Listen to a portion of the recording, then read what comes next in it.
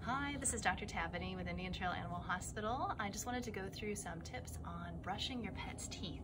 So Peanut has had a lot, a lot of his maintenance care done today. He's looking a little shy at the moment, um, but this is gonna be a short one, Peanut, because brushing teeth, you know, is so quick and very easy. So the veterinary dentist recommended toothpaste is the CET enzymatic. It does come in a chicken flavored. Um, we do have a fair number of pets that are sensitive to chicken. So it's also in vanilla mint. So you like might you might like the vanilla mint um, better than the chicken.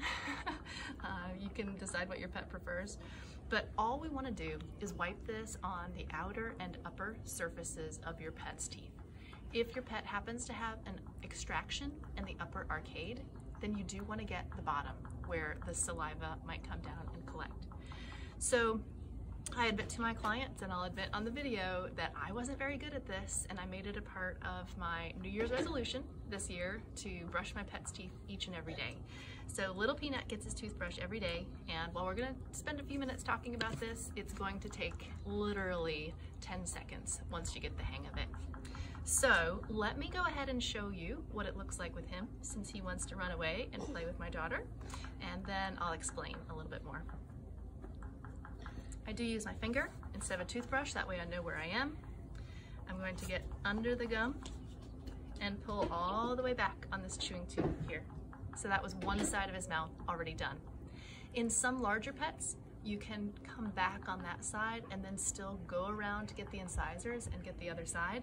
He tends to, for whatever reason, like me to do the other side separately.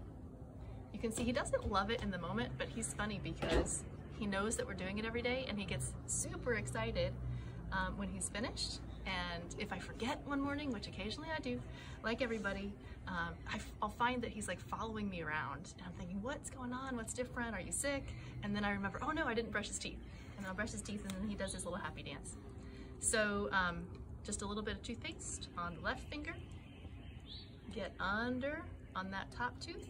You can see I'm pulling way back on the lip and that's it.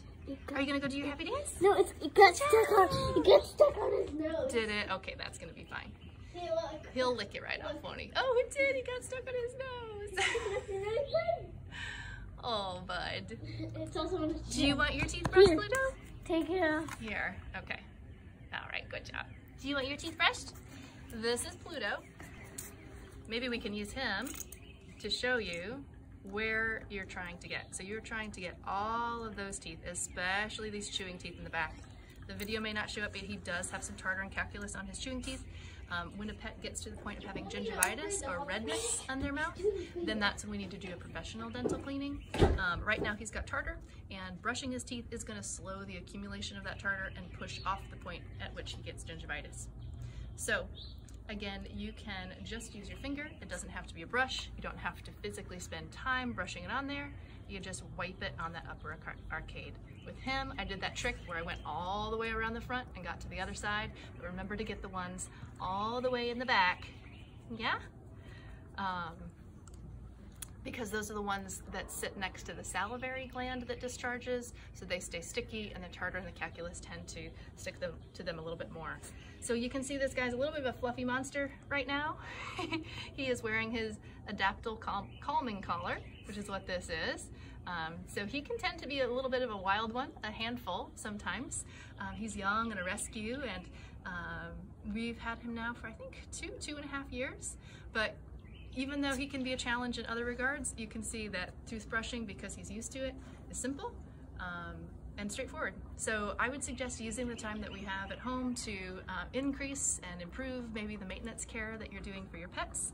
And um, toothbrushing is a really, really great one that pays off dividends. I mean, the clients that do this routinely, it's just amazing how healthy they can keep their pets' teeth looking um, and how far sometimes they can push off the professional dentistry that's needed. So give it a go, CET paste, finger. Uh, we can mail this to you if you'd like us to. Um, we want to help and want to encourage you to help your pets at home. Thanks so much.